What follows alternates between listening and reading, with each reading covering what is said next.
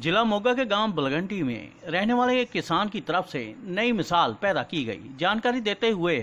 किसान गुरप्रताप सिंह खोसा गाँव तलवंडी जिला मोगा का रहने वाला है। उसने अठाई किले सीधी बिजाई की। उन्होंने जानकारी देते हुए बताया कि पिछले साल उन्होंने दो किले बिजाई की थी, जिसका परिणाम अच्छा मिला, जिसके चलते आज उन्होंने अपने 28 किले ज़मीन में बिजाई की। उन्होंने कहा, इससे एक तो पानी की खपत कम होती है और इसमें स्प्रे भी की भी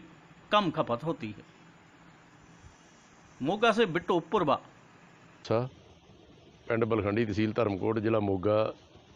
ਦਾ ਰਹਿਣ ਵਾਲਾ ਜੀ ਤੇ ਮੈਂ ਮੌਜੂਦਾ ਕਾਂਗਰਸ ਪਾਰਟੀ ਦੇ ਕਿਸਾਨ ਸੈੱਲ ਦਾ ਜ਼ਿਲ੍ਹਾ ਪ੍ਰਧਾਨ ਹਾਂ ਜੀ ਤੇ ਮੈਂ ਆਪਦੇ ਕਿਸਾਨ ਵੀਰਾਂ ਨੂੰ ਇਹੀ ਅਪੀਲ ਕਰਦਾ ਜੀ ਵੀ ਜਿਹੜਾ ਅੱਜ ਮੁੱਖ ਸਮੱਸਿਆ ਪਾਣੀ ਦੀ ਹੈ ਜੀ ਸਾਡੇ ਸਾਰਿਆਂ ਦੇ ਸਾਹਮਣੇ ਵੀ ਜੇ ਅੱਜ ਅਸੀਂ ਪਾਣੀ ਦੀ ਸਾਂਭ ਸੰਭਾਲ ਨਾ ਕੀਤੀ ਤਾਂ ਜਿਹੜਾ ਆਉਣ- ਪੰਜਾਬ ਸਾਡਾ ਇਹ ਬੰਜਰ ਹੋ ਕੇ ਰਹਿ ਜਾਊਗਾ ਤੇ ਅੱਜ ਜਿਹੜੇ ਅਸੀਂ ਵੀ ਬਾਹਰਲੇ, ਜਿਵੇਂ ਰਾਜਸਥਾਨ ਦੇ ਜ਼ਿਮੀਂਦਾਰ ਭਰਾ ਸਾਡੇ ਸੜਕਾਂ ਤੇ ਆ ਕੇ ਕੰਮ ਕਰਦੇ ਤੇ ਹੋ ਸਕਦਾ ਮਜਬੂਰ ਹੋ ਕੇ ਸਾਨੂੰ ਵੀ ਮਿਹਨਤ ਕਰਨ ਲਈ ਪੰਜਾਬ ਤੋਂ ਬਾਹਰ ਜਾਣਾ ਪੈ ਜੀ। ਉਹਦੇ ਲਈ ਮੈਂ ਸਮਝਦਾ ਕਿ ਜਿਹੜੀ ਝੋਨੇ ਦੀ ਸਿੱਧੀ ਬਿਜਾਈ, ਮੈਂ ਆਪਦੇ ਤਜਰਬੇ ਦੀ ਗੱਲ ਦੱਸਣ ਲੱਗਾ ਕਿ ਮੈਨੂੰ 5 ਸਾਲ ਹੋ ਗਏ ਮੈਂ 2 ਕਿੱਲਿਆਂ ਤੋਂ ਸ਼ੁਰੂ ਕੀਤਾ ਸੀ ਤੇ ਅੱਜ ਮੈਂ 28 ਕਿੱਲੇ ਝੋਨੇ ਦੀ ਸਿੱਧੀ ਬਿਜਾਈ ਕੀਤੀ ਹੈ। ਇਹਦੇ ਨਾਲ ਤੁਸੀਂ ਐਂ ਕਹਿ ਲਓ ਕਿ ਪਾਣੀ ਦਾ ਘੱਟ ਤੋਂ ਘੱਟ ਵੀ 10 ਗੁਣਾ ਬਚਤ ਹੁੰਦੀ ਹੈ। ਕਿਉਂਕਿ ਦੂਸਰੇ ਝੋਨੇ ਨੂੰ ਹਰ ਰੋਜ਼ ਪਾਣੀ ਦੀ ਜ਼ਰੂਰਤ ਹੈ, ਇਹਨੂੰ ਅਸੀਂ 8 ਤੋਂ 10 ਦਿਨ ਦੇ ਵਿੱਚ ਵਿੱਚ ਲਾਉਨੇ ਆ ਇਹਦੇ ਨਾਲ ਕੀ ਹੁੰਦਾ ਵੀ ਇੱਕ ਤਾਂ ਸਾਡੇ ਕਿਸਾਨ ਦੀ ਕਮਾਈ ਆਮਦਨ ਚ ਵਾਧਾ ਹੁੰਦਾ ਜੀ, ਕਿਉਂਕਿ 3500 ਰੁਪਏ ਅੱਜ ਲਵਾਈ ਚੱਲਦੀ ਹੈ ਜੀ, ਨਾਲ ਰਾਸ਼ਨ ਦੇਣਾ ਪੈਂਦਾ ਉਹ ਬਚ ਗਿਆ ਜੀ। ਫਿਰ ਇਹਦੇ ਤੇ ਸਪਰੇਅ ਘੱਟ ਕਰਨੀ ਪੈਂਦੀ ਹੈ ਜੀ, ਫਿਰ ਇਹਦੇ ਝਾੜ ਚ ਕੁਆਂਟਲ ਤੋਂ 2 ਕੁਆਂਟਲ ਦੇ ਵਿੱਚ ਵਿੱਚ ਜਿਹੜਾ ਉਹ ਝਾੜ ਚ ਵੀ ਵਾਧਾ ਹੁੰਦਾ ਜੀ। ਸੋ ਮੈਂ ਤਾਂ ਇਹੀ ਕਹੂੰਗਾ ਵੀ ਜਿਹੜੇ ਜ਼ਿਮੀਂਦਾਰ ਭਰਾ ਹੈ, ਇਸ ਬਿਜਾਈ ਨੂੰ ਜੇ ਕਿਸੇ ਨੂੰ ਕੋਈ ਸ਼ੱਕ ਲੱਗਦਾ ਤਾਂ ਉਹ ਮੇਰੇ ਕੋਲੇ ਆਉਣ। ਮੈਂ ਆਪਦੇ ਏਰੀਏ 'ਚ ਵੀ ਕਾਫੀ ਜ਼ਿਮੀਂਦਾਰਾਂ ਨੂੰ ਪ੍ਰੇਰਿਤ ਕਰਕੇ ਜਿਹੜੀ ਹੈ ਇਹ ਬਿਜਾਈ ਕਰਾਈ ਹੈ ਤੇ ਪਾਣੀ ਦਾ ਜਿਹੜੀ ਇਹਦੇ ਨਾਲ ਸਮੱਸਿਆ ਬਹੁਤ ਹੀ ਹੱਲ ਹੋਣ 'ਚ ਅਸੀਂ ਜਿਹੜਾ ਯੋਗਦਾਨ ਪਾ ਸਕਦੇ ਹਾਂ।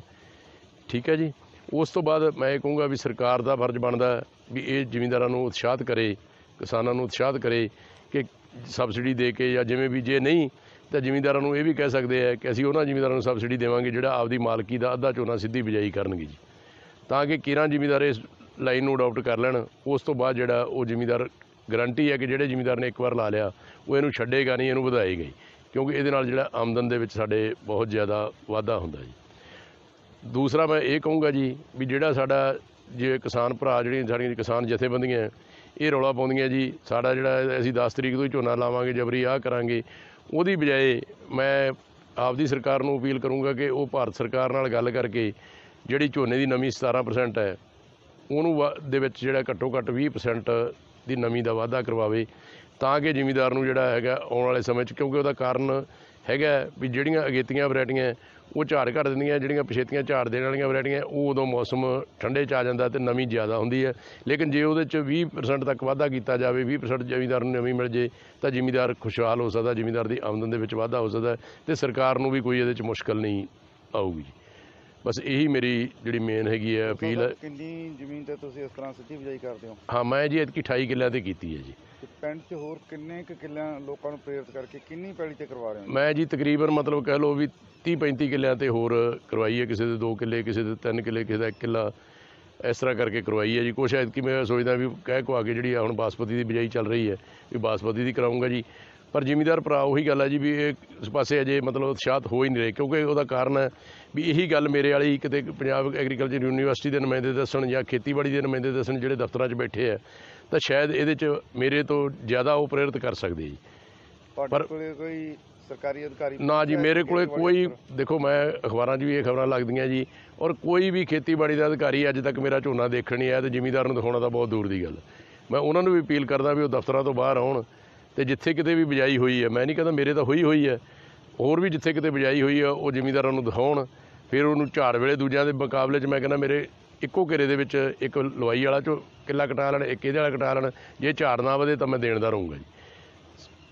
ਪਰ ਉਹ ਅਪੀਲ ਕਰਨੀ ਚਾਹੁੰਦੇ ਹਾਂ। ਹਾਂਜੀ ਮੈਂ ਇਹੀ ਕਿਸਾਨਾਂ ਨੂੰ ਅਪੀਲ ਕਰਦਾ ਵੀ ਸਿੱਧੀ ਬਿਜਾਈ ਵੱਲ ਉਤਸ਼ਾਹਤ ਹੋਣ ਸਿੱਧੀ ਬਿਜਾਈ 'ਚ ਘੱਟੋ ਘੱਟ ਮੇਰੀ ਸੋਚ ਮੁਤਾਬਕ 6 ਤੋਂ 8000 ਰੁਪਇਆ ਕਿੱਲੇ ਦੀ ਬਚ- ਬਚਤ ਹੁੰਦੀ ਹੈ ਜੀ ਕਿਉਂਕਿ 3500 ਰੁਪਇਆ ਸਾਡੀ ਲਵਾਈ ਬਚਦੀ ਹੈ ਜੀ ਫਿਰ ਨਾਲ ਰਾਸ਼ਨ ਦੇਣਾ ਪੈਂਦਾ ਜੀ। ਕੁਆਂਟਲ ਵੀ ਜੇ ਝਾੜ ਸਾਡਾ ਵੱਧ ਨਿਕਲਿਆ ਤਾਂ 2000 ਰੁਪਏ ਦਾ ਉਹ ਹੈ ਜੀ। ਕੋਈ 5-700 ਰੁਪਏ ਦੀ ਸਪਰੇਅ ਬਚ ਜਾਂਦੀ ਹੈ। ਮਤਲਬ 6 ਤੋਂ 8000 ਰੁਪਏ ਦੀ ਆਮਦਨ ਪ੍ਰਤੀ ਕਿੱਲਾ ਸਾਡੀ ਜਿਹੜੀ ਆ ਉਹ ਵੱਧਦੀ ਵੱਧਦੀ ਹੈ ਤੇ ਸਭ ਤੋਂ ਵੱਡੀ ਗੱਲ ਹੈ ਵੀ ਅਸੀਂ ਸੁੱਖ ਲੈਂਦੇ ਹਾਂ ਜੀ। ਕੋਈ ਮਨ ਤੇ ਬੋਝ ਨਹੀਂ ਵੀ ਅੱਜ ਸਾਡੀ ਲੇਬਰ ਨਹੀਂ ਆਈ ਆਹ ਨਹੀਂ ਹੋਇਆ ਜੀ। ਇਹ ਸਾਰੀਆਂ ਗੱਲਾਂ ਨੂੰ ਜ਼ਿਮੀਂਦਾਰ ਭਰਾ ਧਿਆਨ 'ਚ ਰੱਖਦੇ ਹੋਏ ਸਿੱਧੀ ਬਿਜਾਈ ਵੱਲ ਧਿਆਨ ਦੇਣ ਤੇ ਵੱਧ ਤੋਂ ਵੱਧ ਸਿੱਧੀ ਬਿਜਾਈ ਕਰਕੇ ਆਪਦੀ ਆਮਦਨ ਵਿੱਚ ਵੀ ਵਾਧਾ ਕਰਨ ਤੇ ਪਾਣੀ ਦਾ ਸੰਕਟ ਹੱਲ ਕਰਨ 'ਚ ਵੀ ਯੋਗਦਾਨ ਪਾਉਣ ਜੀ। ਹਾਂਜੀ।